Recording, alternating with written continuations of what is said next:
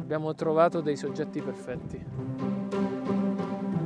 Ciao ragazzi, benvenuti in questo nuovo video. Visto che avete particolarmente apprezzato il video di settimana scorsa con il confronto su Lightroom tra Xiaomi 13 Pro e Samsung S23 Ultra, lo metto qui da qualche parte, e quindi ho deciso di riproporvi, anche perché alcuni di voi me l'hanno proprio chiesto, un confronto che secondo me ha più senso, perché è proprio tra i due camera phone del momento, tra i due smartphone e i due brand che hanno scelto di investire in una certa direzione per quanto riguarda il reparto camera. Sto parlando di Xiaomi 13 Pro e Vivo X90 Pro Plus, lo so, mi avete chiesto, alcuni di voi mi hanno chiesto il confronto con il modello Global che è quello Pro senza il Plus e sappiamo che cambia uh, l'hardware uh, che, c'è, che, c'è, sopra, però uh, io ho avuto questo modello anche perché, anche perché la persona da cui prendo gli smartphone è il punto di riferimento per chiunque voglia fare compra-vendita di smartphone usati su Roma e su tutto il territorio nazionale, ovvero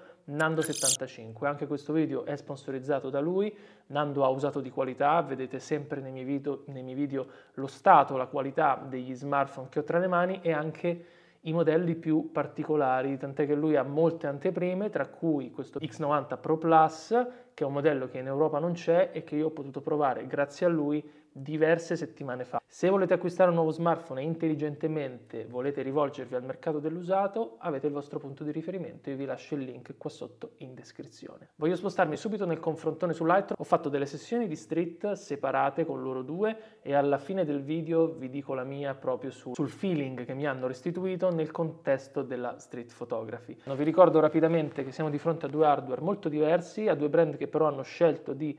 eh, affidarsi e di collaborare pesantemente rispetto a quanto visto in passato con dei brand eh, del mondo della fotografia, nello specifico Leica per quanto riguarda Xiaomi e Zeiss per quanto riguarda um, Vivo. Collaborano in modo diverso, uh, Leica ha fatto un lavoro più incentrato sul software, ha co-ingegnerizzato le lenti insieme a Xiaomi, ha fatto un lavoro molto pesante per quel che ho visto e per quel che ci hanno raccontato sul software e si vede parecchio. Però le lenti non sono effettivamente ehm, prodotte da Leica e create nella sede di Leica. Zeiss invece interviene in maniera eh, anche hardware, in maniera un po' più invasiva perché eh, Vivo X90 Pro è uno dei rari smartphone, se non l'unico forse, ad avere delle lenti interamente in vetro e ci hanno proprio parlato di questo trattamento che hanno fatto proprio sui vetri legato all'antiriflesso e alla gestione del flare e secondo me ehm, non solo per quanto riguarda poi la resa finale e adesso lo vedremo. Vivo X90 Pro è più completo sotto il profilo delle ottiche, vi metto qua in sovraimpressione ehm, il confronto tra quelli che sono i sensori e le focali eh, disponibili, molto interessante la presenza del 50 mm sul vivo eh, reale che invece sullo Xiaomi non c'è, anche perché ehm, il vivo gioca su dei diaframmi molto aperti e anche il 50 mm ehm, ha un diaframma di f1.6 che eh, unito al sensore da poco meno di mezzo pollice, eh, la rende una focale molto particolare per quanto riguarda l'ambito smartphone e non da meno il 90 mm che si poggia su un sensore da mezzo pollice che è molto molto grande per questa focale rispetto sempre al modo degli smartphone ed è periscopico, cosa che invece sullo Xiaomi eh, non abbiamo come tecnologia. Entrambi eh, propongono il sensore da un pollice che adesso vedremo come gestiscono visto che l'ottica che poi si poggia davanti a questo sensore è molto differente. Prima di iniziare il confronto vi ricordo infine che per entrambi trovate sul mio canale dei video dedicati per lo Xiaomi addirittura più di un video dedicato forse, quindi vi lascio il link in giro, vi lascio il link in descrizione. Se volete approfondire eh, avere un focus su questi due telefoni, andate a vedervi i video dedicati. Allora, mi faccio piccolo piccolo, eccoci su Lightroom, iniziamo con la modalità automatica, sensore principale, foto quasi in controluce, vediamo subito come i due telefoni in automatico gestiscono lo scenario in maniera differente. Vivo, un po' come faceva S23 Ultra, tende a eh, aprire un po' di più sulle ombre, a schiarire un po' eh, l'immagine in generale. Eh, secondo me c'è proprio un lavoro di HDR qui, che però sul vivo rispetto al Samsung non ha quella fastidiosa cosa di essere iperinvasivo, sempre presente. Quello che vediamo a schermo quando scattiamo è quello che poi corrisponde in galleria, non viene applicata una post produzione. In generale il vivo ha la tendenza a eh, aprire un po' di più lo scatto, quindi qua secondo me va un po' mh, a gusti, eh, io preferisco sempre eh, un contrasto un po' più fedele, è anche vero che su un file del genere, anche se in JPEG, ci possiamo lavorare per arrivare alla resa che ci dà lo Xiaomi in termini di uh, atmosfera, uh, meno vero probabilmente il contrario. Andiamo a vedere nel dettaglio però il sensorone da un pollice e la lente uh, come lavorano e viene fuori subito secondo me una grande differenza. Queste lenti di Zeiss mi hanno abbastanza scioccato, guardate qua. Ora, al di là di quanto mh, possa essere un caso legato al fatto che magari il vivo su questo scatto ha eh, azzeccato di più il punto preciso di messa a fuoco e lo Xiaomi eh, no. Però secondo me, eh, considerando che questa parte dello scatto è a fuoco, qui la differenza non la fa tanto quello. Siamo a parità di risoluzione, è veramente la medesima risoluzione 12 megapixel, Qua la differenza secondo me la fa la lente, una lente molto molto più nitida che lavora meglio, eh, non con quella nitidezza estrema orribile che aveva il Samsung S23 Ultra che tirava tutti, fuori tutti gli artefatti, no? quindi lì era una nitidezza data dal software, qui è proprio restituita dalla qualità dei vetri secondo me e eh, lavora meglio a un diaframma più aperto che non è per niente scontato perché maggiore è l'apertura del diaframma sullo Xiaomi a sinistra eh, f1.9, sul, sul um, vivo a destra f1.7, um, maggiori sono le difficoltà per la lente nel, restituir, nel restituirci un'immagine eh, nitida. Andiamo a vedere come questa cosa, se questa cosa si riconferma anche sul uh, teleobiettivo. Uh, I due teleobiettivi che possiamo andare a paragonare sono uh, i 75 mm per quanto riguarda lo Xiaomi che vi ho messo qui a sinistra e il 90 mm che vi ho messo qui a destra per quanto riguarda il vivo. Qui noto diverse cose già di primo uh, acchitto, siamo sempre in modalità automatica, quadro più stretto sul vivo, lo sfondo un po' più chiuso, la focale maggiore. Uh, innanzitutto noto uh, la gestione del flare che um, viene fuori da questa lavorazione probabilmente um, di queste lenti Zeiss. Vediamo che qua il flare sullo Xiaomi si palesa, lo scatto è leggermente sbiadito. Andiamo a vedere in termini di dettaglio e anche qui notiamo al netto dello sbiadito che abbiamo per questo flare, ma comunque mi soffermerei un secondo sul dettaglio della lente. Ricordo che anche in questo caso uh, il sensore è un po' più grande sul vivo, Uh, I megapixel sono un po' superiori, sono 16 sul vivo contro i 12 dello Xiaomi e questo unito all'elemento fondamentale che secondo me rimane la lavorazione e la qualità dei vetri dell'ottica del vivo che è pazzesca, ci riporta a una riproduzione delle texture e del dettaglio che è super super piacevole, molto più nitida e pulita a vedere anche lo sfocato, come viene gestito. Anche il bokeh secondo me è più piacevole sul vivo e mh, privo di artefatti che invece qui un pochettino si palesano in aberrazioni cromatiche e strane cose che vengono fuori. Due teleobiettivi ottimi, ma secondo me Vivo è superiore. Ultra grandangolare, sempre in modalità automatico, quindi la 14 mm. Eh, anche qui vediamo il software, eh, ormai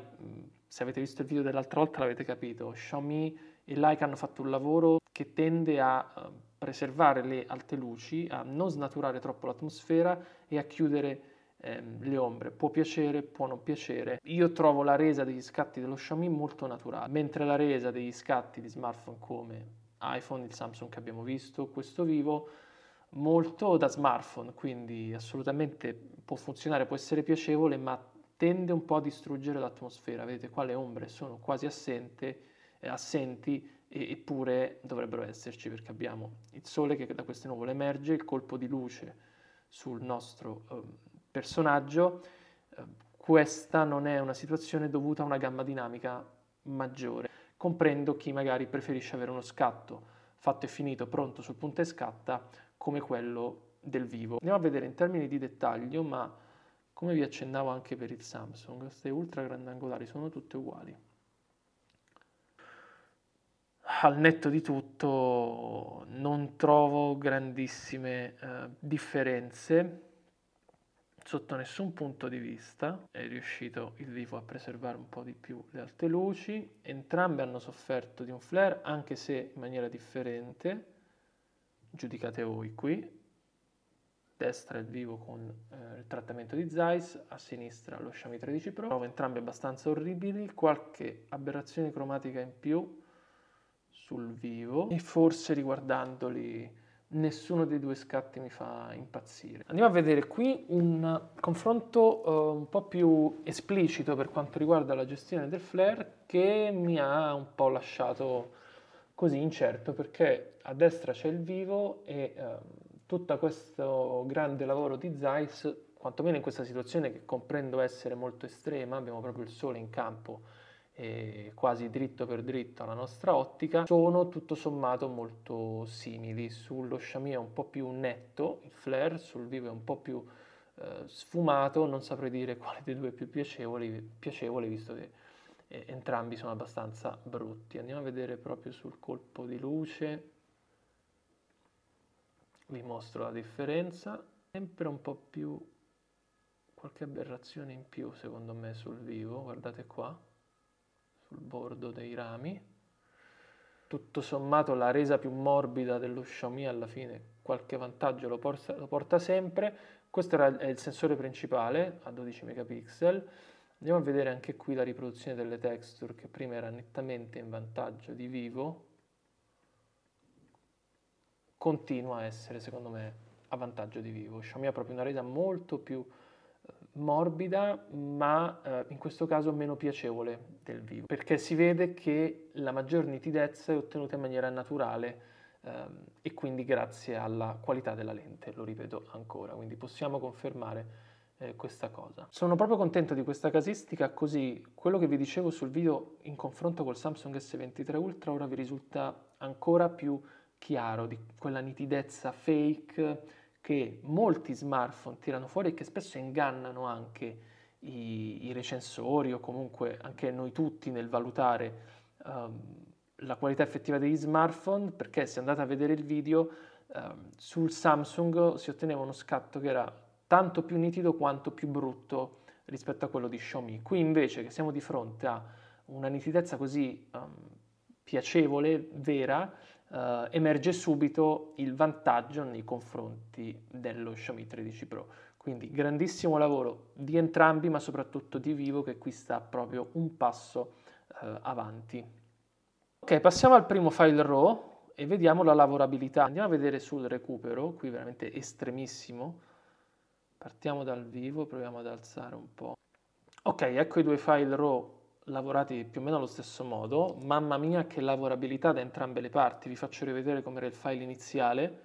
ok, questa roba qui, il Samsung S23 Ultra l'abbiamo visto, se la sogna ad esempio, se poi volete ci facciamo anche un confrontino con l'iPhone, fatemelo sapere nei commenti, ma secondo me il risultato è abbastanza scontato davanti a questi uh, file. Vi ricordo che sullo Xiaomi 13 Pro abbiamo un file RAW 10 bit con profilo uh, Adobe e tra l'altro Lightroom, vi faccio vedere, vi va proprio a riconoscere uh, in automatico, che adesso sono sul vivo, questo è il vivo e non viene riconosciuto, se passo allo scatto di Xiaomi, ecco qui che subito vi va fatti a riconoscere e quindi questo ha tutta una serie di eh, vantaggi all'interno del mondo Adobe e di uh, Lightroom nello specifico. Con il vivo questo non accade, ma anche il vivo tira fuori dei file eh, RAW 10 bit ci sono delle differenze ovvie dovute alla lente diversa, quindi all'interpretazione anche del file RAW diversa, il sensore però grosso modo è lo stesso, la, anzi il sensore è lo stesso, la lavorabilità dei file è assolutamente impressionante da entrambe le parti e ai vertici assoluti di questo eh, settore. Andiamo a riconfrontare i teleobiettivi, questa volta però in RAW, file dello Xiaomi sempre un po' più chiuso eh, sulle ombre, forse ora che comincio a vederne tanti in confronto, un po' estrema questa cosa, che può facilmente ricadere mh, nella percezione di una gamma dinamica più, eh, più ridotta, quando in realtà poi abbiamo visto spesso che non è così. Andiamo a vedere anche in questo caso, stavolta siamo su due sensori diversi, due risoluzioni diverse, due focali diverse e ovviamente quindi due eh, lenti differenti. Vediamo subito la lavorabilità, anche se qua insomma, è uno scatto con una luce abbastanza diffusa, abbastanza eh, piatta, però se vado a recuperare sulle alte luci un po' di nuvole, con grande piacevolezza sul vivo viene fuori subito del dettaglio e non ho dubbi, eccolo lì, anche sullo Xiaomi. Apriamo un po' lo scatto sullo Xiaomi per allinearlo a quello del vivo e vediamo in termini di dettaglio e qui eccoci qua di nuovo. Il lavoro di Zeiss e di Vivo è semplicemente pazzesco su una focale più lunga, quindi anche più difficile. Eh, troviamo un sensore più grande perché abbiamo mezzo pollice di qua, mentre qui siamo più vicini a un terzo di pollice sullo Xiaomi e il livello di dettaglio è molto molto superiore di dettaglio, ripeto, reale. Guardate qua. Vediamo. Scatto fatto quasi nel medesimo momento.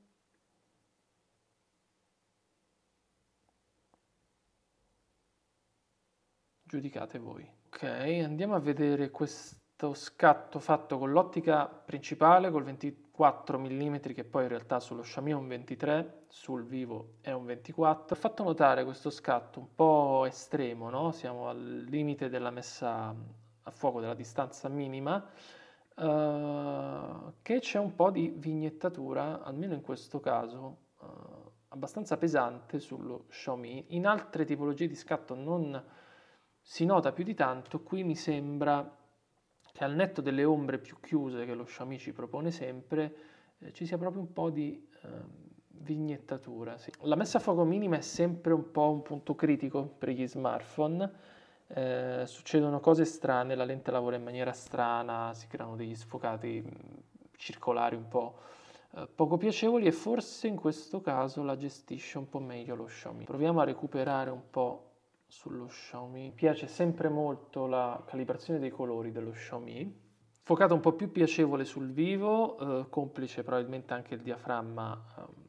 più aperto, eh, lo trovo proprio un po' più interessante eh, come, come bokeh. Al di là del livello di eh, sfocato, mi sembra che questa lente mm, proponga qualcosa di un po' più interessante e a livello di dettaglio su uno scatto così mm, macro, un po' estremo, le differenze fanno un po' più fatica a venire fuori, infatti mi sembrano ottimi ed equiparabili. Mi lancio nei commenti finali nel mio parere e anche in una valutazione della mia esperienza eh, legata alle sessioni di street che ho fatto con loro. Prima però vi ricordo che se questi contenuti eh, vi sono utili mi potete aiutare e sostenere con un semplice like, se vi va seguendomi per non perdere i prossimi video, se volete lasciare un commento lasciatelo, vi rispondo sempre e mi trovate anche su Instagram,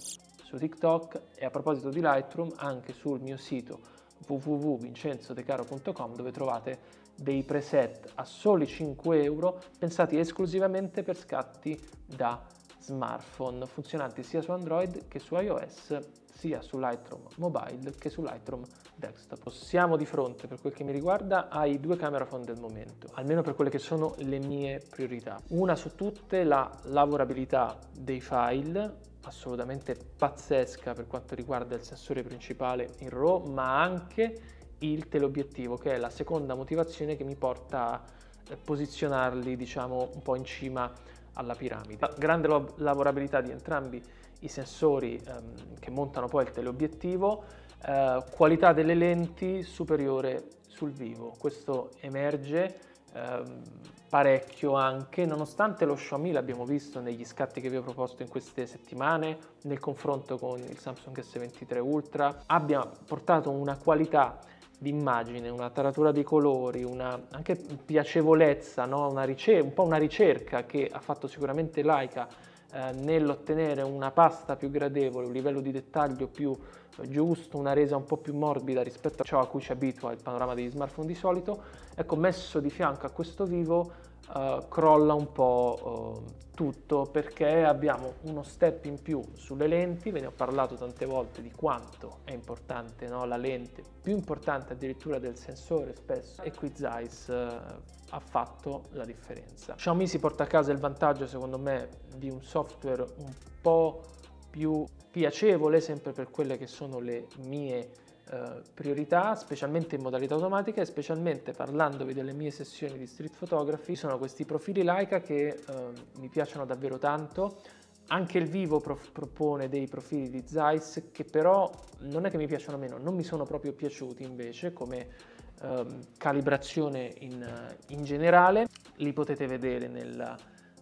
nel video focus che ho fatto di entrambi e in più Xiaomi mantiene quel vantaggio netto che aveva anche sul Samsung uh, nella velocità di scatto. La velocità di scatto, la risposta dell'otturatore rimane per ora un vantaggio pazzesco di questo Xiaomi 13 Pro, è la stessa che avevo uh, riscontrato nel 12S Ultra, eh, mentre il vivo è un po' uh, più lento. Questo in tutte le modalità, che sia automatico o che sia in modalità Pro con il RAW attivo. Uh, spero che questo video vi sia stato utile, ovviamente so che avreste voluto vedere la versione global perché l'X90 Pro Plus si porta il grosso svantaggio di non essere disponibile in Europa, ma se vi interessa uh,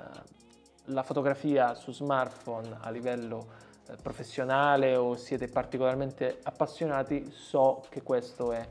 un gradino secondo me, ehm, come dire, superabile abbastanza uh, facilmente. Per questo video è tutto, se volete altri confronti fatemelo sapere nei commenti e noi ci vediamo alla prossima.